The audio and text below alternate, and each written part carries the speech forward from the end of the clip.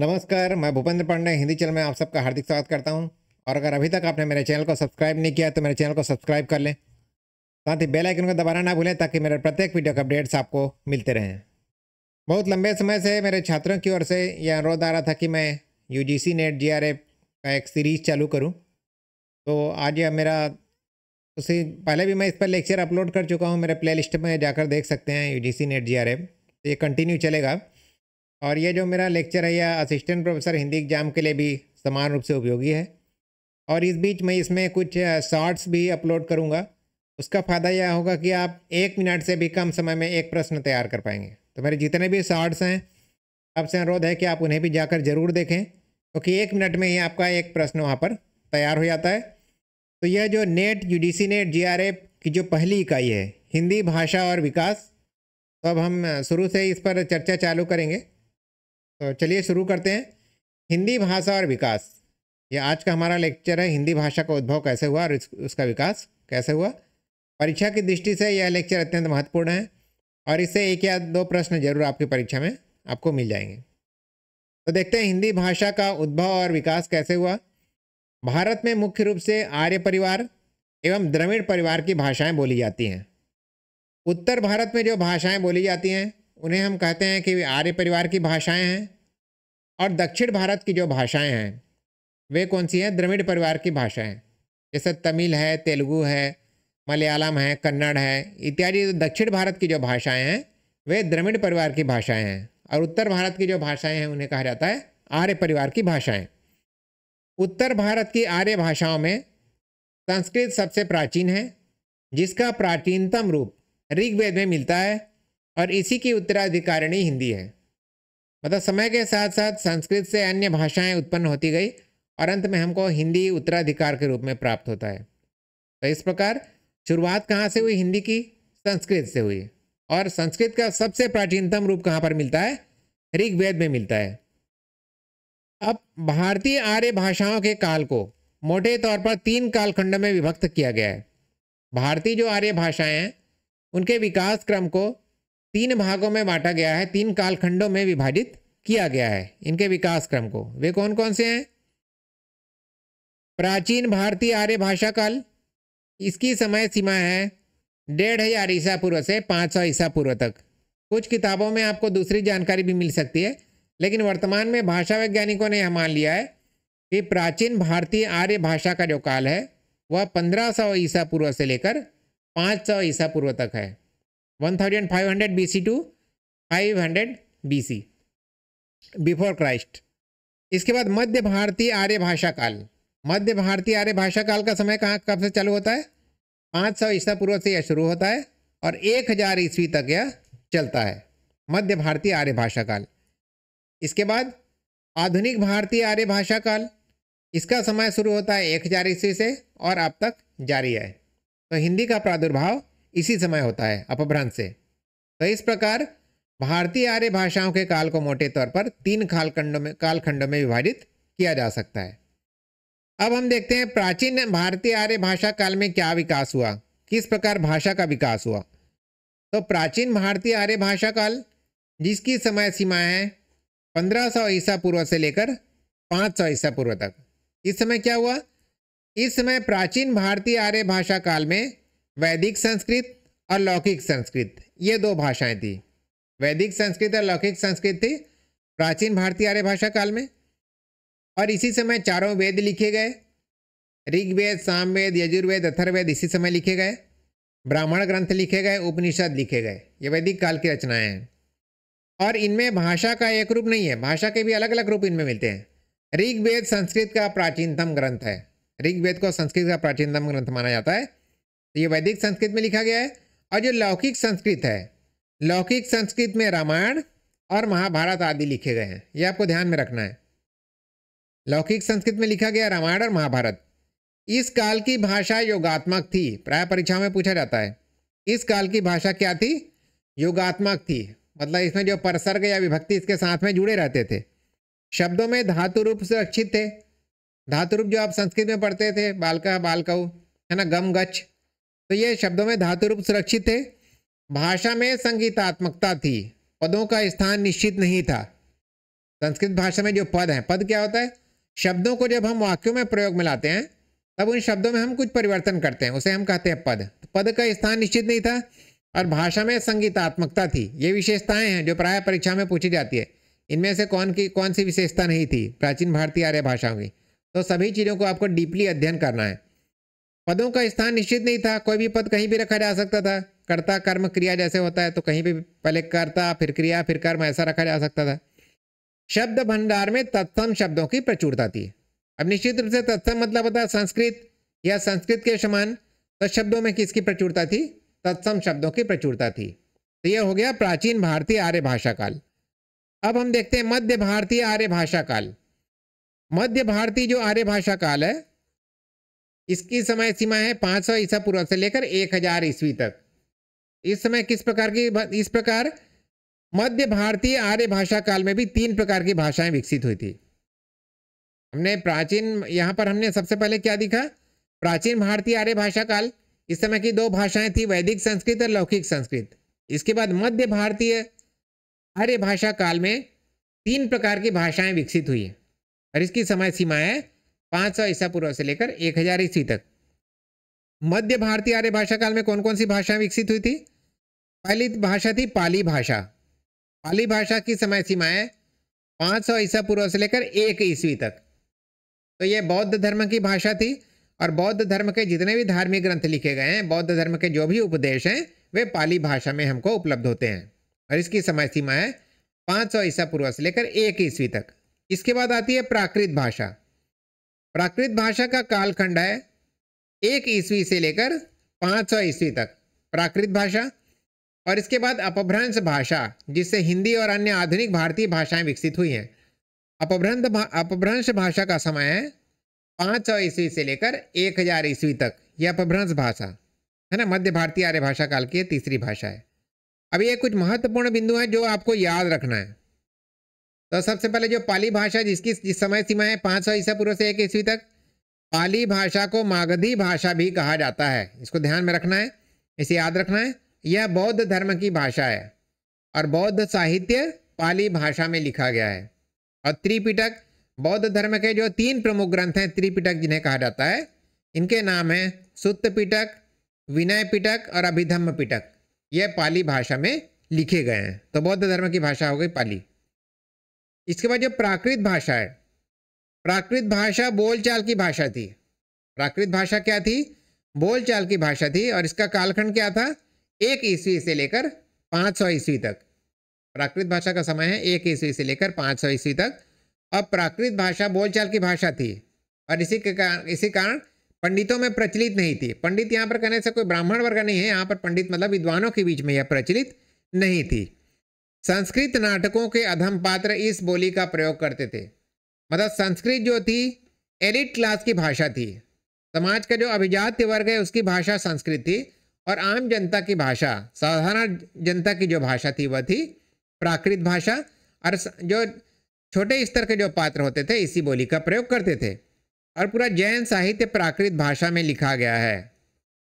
बौद्ध धर्म की जो त्रिपिटक जो लिखे गए हैं पाली में लिखे गए हैं। और जैन साहित्य किसमें लिखा गया है? प्राकृत भाषा में लिखा गया है। प्राकृत भाषा के भी पाँच प्रमुख भेद थे। ये जो प्राकृत भाषा है, इसके पाँच प्रमुख भेद थे। पहला कहा जाता है शौर सैनिक प्राकृत। शौर सैनिक प्राकृत कहाँ प्रचलित थी? यह मथुरा या शूरसेन जनपद में बोली जाती थी। मतलब अलग अलग जनपदों में विभाजित था उस समय हमारा भारत। तो मथुरा और शूरसेन जनपद में शौर सैनी बोली जाती थी।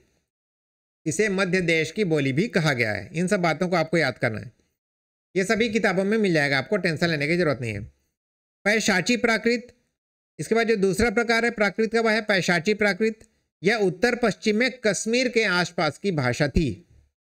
और तीसरा है महाराष्ट्रीय प्राकृत। इसका मूल स्थान कहाँ था? महाराष्ट्र था। इसके बाद है अर्ध मागधी प्राकृत। यह मागधी और शौरसैनी। इन दोनों के बीच के क्षेत्र की भाषा थी। जहाँ पर मागधी बोली जाती थी, जहाँ पर शवसैनी बोली जाती थी, उसका बीच का कुछ एरिया था, वहाँ पर अर्ध मागधी प्राकृत का प्रयोग किया जाता था। इसके बाद जो मागधी प्राकृत है, यह मगध के आसपास प्रचलित भाषा थी। मगध के आसपास की भाषा मागधी प्राकृत है। अब जो अपभ्रंश भाषा है भ्रंश भाषा का प्रयोग कहाँ, कब से कब तक हुआ? 500 सौ ईस्वी से लेकर 1000 ईस्वी तक का प्रयोग हुआ। अपभ्रंश भाषा का प्रयोग हुआ था 500 सौ ईस्वी से लेकर 1000 ईस्वी तक।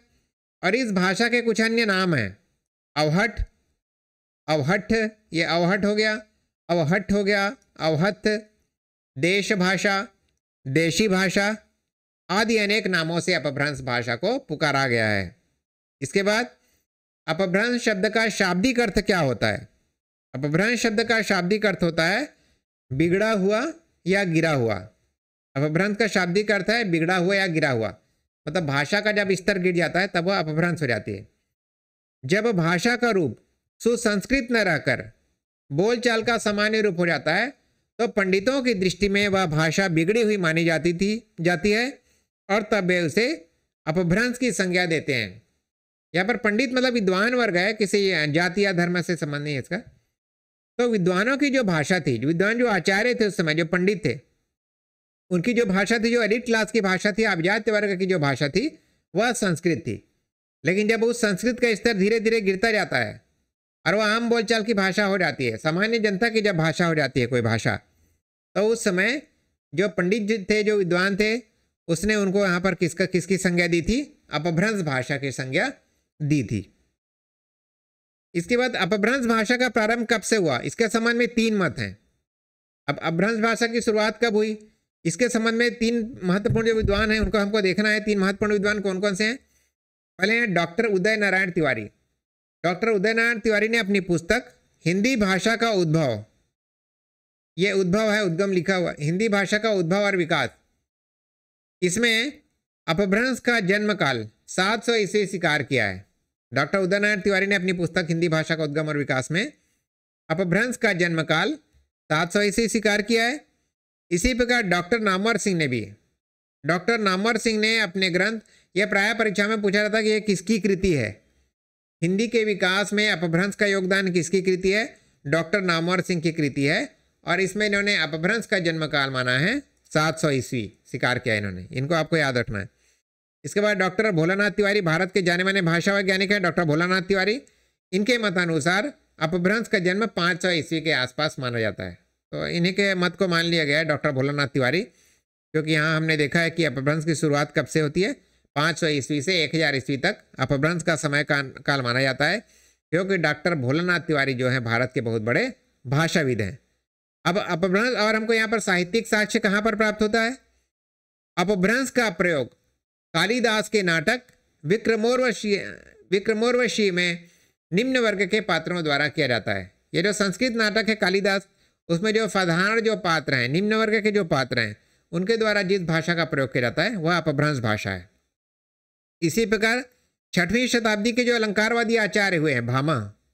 भामा आचार्य भामा ने भी अपभ्रंश का उल्लेख संस्कृत एवं प्राकृत के साथ करते हुए इसे काव्योपयोगी भाषा बताया है। तो इस पर आप समझ सकते हैं कि ये इसकी प्राचीनता को दर्शा रहा है कि 500 सौ ईस्वी से अपभ्रंश की शुरुआत हो चुकी थी। ये तीसरा है, आधुनिक भारतीय आर्य भाषा काल जो 1000 ईस्वी से लेकर अब तक जारी है। अभी जो हम जिस भाषा का प्रयोग करते हैं, वह आधुनिक आर्य भाषा काल है, और यह 1000 ईस्वी से अब तक चालू है। अब देखिए, यहाँ पर हम पढ़ चुके हैं कि अपभ्रंश का साहित्य में प्रयोग। यद्यपि अपभ्रंश की समय सीमा एक हज़ार ईस्वी तक मानी गई है, लेकिन अपभ्रंश का साहित्य में प्रयोग बारह सौ ईस्वी तक हुआ। यद्यपि इस काल यद्यपि इसका काल पाँच सौ ईस्वी से एक हज़ार ईस्वी तक ही माना जाता है। यद्यपि अपभ्रंश जो भाषा है, उसकी समय सीमा पाँच सौ ईस्वी से एक हज़ार ईस्वी तक मानी जाती है, लेकिन बारह सौ ईस्वी तक इसका प्रयोग साहित्य में होता रहा। अब यह बहुत ही महत्वपूर्ण है। एक हज़ार ईस्वी के आसपास हिंदी का प्रयोग, हिंदी का प्रयोग साहित्य में आरंभ हो चुका था, किंतु कुछ काल बाद तक भी अपभ्रंश का प्रयोग साहित्य में होता रहा। तो आप हिंदी की शुरुआत कब से मान सकते हैं? एक हज़ार ईस्वी से मान सकते हैं। अब यहाँ पर सारे जो भी बातें बता रहा हूँ, सभी बातें महत्वपूर्ण हैं। जो आधुनिक आर्य भाषाएँ हैं, आधुनिक भारतीय जो आर्य भाषाएँ हैं, जो प्राय उत्तर भारत में प्रचलित हैं, आधुनिक भारतीय आर्य भाषाओं का विकास इसी अपभ्रंश भाषा से हुआ है और हिंदी का विकास भी इसी अपभ्रंश भाषा से हुआ है। अतः हिंदी की जननी क्या है? अपभ्रंश है। हिंदी को किसने जन्म दिया है? अपभ्रंश ने जन्म दिया है। ये बहुत ही महत्वपूर्ण है जो प्राय परीक्षा में पूछा जाता है। इसको आपको पूरा वर्ड टू वर्ड आपको याद करना है। वैसे मेरा पूरा नोट्स महत्वपूर्ण है आपके लिए। उत्तर भारत में अपभ्रंश के सात क्षेत्रीय रूपांतरण प्रचलित थे। उत्तर भारत में अपभ्रंश के सात रूप प्रचलित थे, जिनसे आधुनिक भारतीय आर्य भाषाओं का कालांतर में विकास हुआ और इनका विवरण इस प्रकार है। उत्तर भारत में अपभ्रंश के सात क्षेत्रीय रूप प्रचलित थे और इनसे ही आधुनिक भारतीय आर्य भाषाओं का जन्म होता है। अब देखिए, यहाँ पर देखते हैं, पहला कौन सा है? अपभ्रंश का क्षेत्रीय रूप, ये इस इस कॉलम में अपभ्रंश का क्षेत्रीय रूप और इस कॉलम में किस अपभ्रंश से कौन सी आर्य भाषाओं ने जन्म लिया? पहला है शौर सैनी अपभ्रंश। तो शौर सैनी अपभ्रंश से जन्म लेने वाली आर्य भाषाएँ कौन कौन सी हैं? पश्चिमी हिंदी, राजस्थानी और गुजराती। बाद में हम और डिटेल में पढ़ेंगे इसके बारे में। इसके बाद पैशाची अपभ्रंश है। पैशाची अपभ्रंश से जन्म लेने वाली आर्य भाषाएँ कौन सी है? पंजाबी और लहंदा। ब्राटड अपभ्रंश से जन्म लेने वाली, विकसित होने वाली आर्य भाषा कौन सी है? ब्राटड अपभ्रंश से सिंधी। खस अपभ्रंश से पहाड़ी। और महाराष्ट्रीय अपभ्रंश से मराठी। अर्धमागधी अपभ्रंश से पूर्वी हिंदी। और मागधी अपभ्रंश से बिहारी, उड़िया, बंगला और असमिया। और इस प्रकार हिंदी एवं अन्य भारतीय आर्य भाषाओं का विकास भी अपभ्रंश के क्षेत्रीय रूपों से हुआ। तो आज हम जिस हिंदी और जिस अन्य भारतीय आर्य भाषाओं का प्रयोग करते हैं, उनका जन्म अपभ्रंश के इन्हीं सात क्षेत्रीय रूपों में से किसी न किसी रूप से हुआ है। और इस विवेचन के आधार पर ऊपर हमने जो विचार विमर्श किया, जो डिस्कशन किया, इसके आधार पर हम भाषाओं के क्रमिक विकास को इस प्रकार समझ सकते हैं कि भाषाओं का विकास कैसे हुआ। भाषाओं का विकास कैसे हुआ कैसे भाषा विकसित होते हुए संस्कृत से आज हमारे हम तक आई। सबसे पहले हो गया वैदिक संस्कृत, सबसे प्राचीन भाषा है वैदिक संस्कृत। इसके बाद आई संस्कृत संस्कृत के बाद आने वाली जो भाषा है, विकसित होने वाली भाषा है, वह है पाली। पाली के बाद विकसित होने वाली भाषा है प्राकृत प्राकृत के बाद विकसित होने वाली भाषा है अपभ्रंश। और अपभ्रंश से ही हिंदी तथा अन्य भारतीय आर्य भाषाओं का विकास हुआ। और इस प्रकार हिंदी भाषा की उत्पत्ति मूलतः शौर सैनी अपभ्रंश से हुई है। इन सारी बातों को परीक्षा में पूछा जाता है। परीक्षा की दृष्टि से मेरा यह आज का लेक्चर बहुत ही महत्वपूर्ण है और यह केवल यूजीसी नेट जेआरएफ के लिए नहीं, बल्कि जितने भी जितने भी कॉम्पिटिशन एग्ज़ाम्स होते होंगे, चाहे असिस्टेंट प्रोफेसर के लिए टीजीटी पीजीटी के लिए, जिसके भी, उसके लिए मेरा आज का यह लेक्चर समान रूप से उपयोगी है। तो कमेंट बॉक्स में कमेंट लिख के ज़रूर बताएँ कि मेरा आज का यह एपिसोड आपको कैसा लगा। साथ ही यदि आपने मेरे चैनल को सब्सक्राइब नहीं किया तो चैनल को सब्सक्राइब कर लें, अपने मित्रों के साथ शेयर करें, इसे लाइक करें और बेल आइकन को दबाना ना भूलें, ताकि मेरे प्रत्येक वीडियो के अपडेट्स आपको मिलते रहें। धन्यवाद।